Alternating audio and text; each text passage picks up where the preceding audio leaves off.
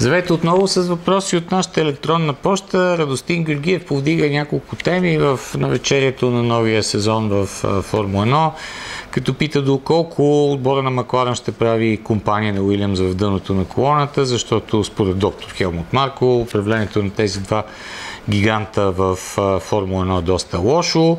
Какво ще бъде представянето на Алфа Ромео? Ще се включи ли наистина Алфа Ромео в борбата в средата на класирането и в крайна сметка как може да се, да се развие тази битка. Това са наистина въпроси, които има в различни варианти, изпратени от страшно много хора от вас.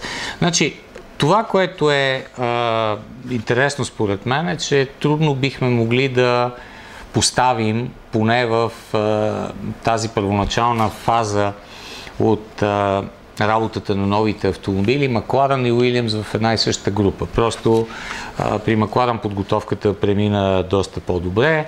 В най-малка степен те демонстрираха много сериозен напредък спрямо миналата година. Отбора като цяло е в корено различна кондиция в сравнение с Уилямс, където голямата новина в крайна сметка беше очаквана. Пади Лоу за сега е в неизвестна като продължителност отпуска от отбора, според мен.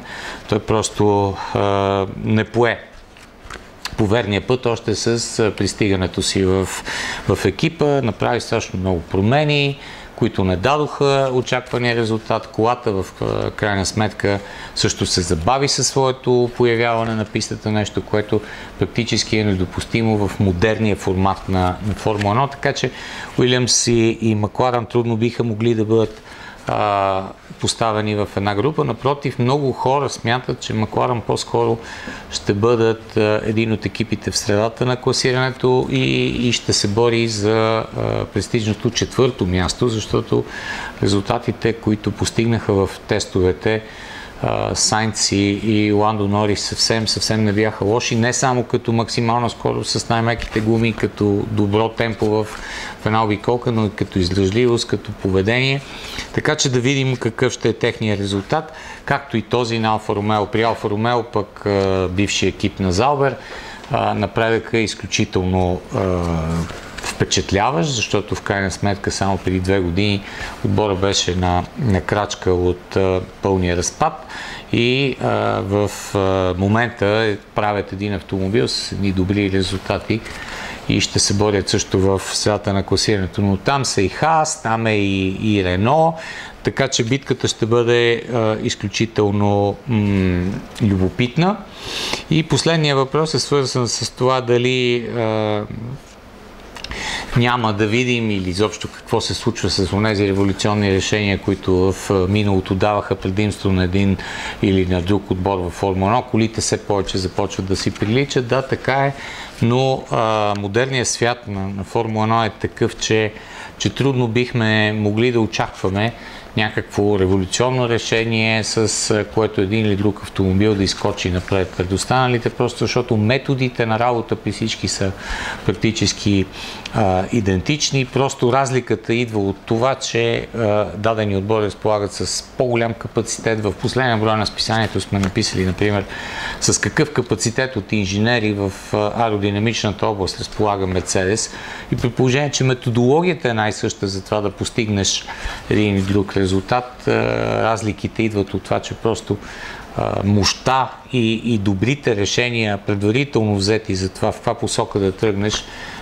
гарантират успеха, но при всички случаи наистина ще е любопитно да се, да се наблюдава някое а, конкретно различно решение при един друг отбор в, в формулата.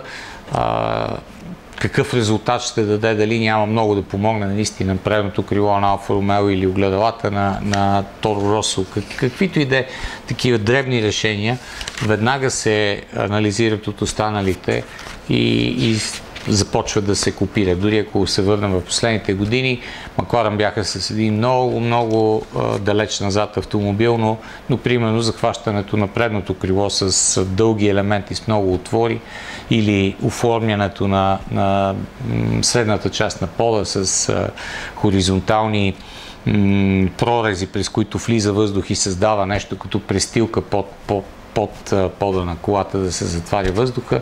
Това бяха копирани решения от Ферари, от Мерцедес, така че а, и по-ограничените от към ресурси отбори имат добри решения, но а, пак се връщам на това. Трудно биха могли тези решения да ги изстрелят много напред, още повече, че останалите бързо ги анализират и ги а, интерпретират много по- по-ефективно в, в следващия етап от развитието. Благодаря за въпросите. Ще бъдем отново заедно скоро.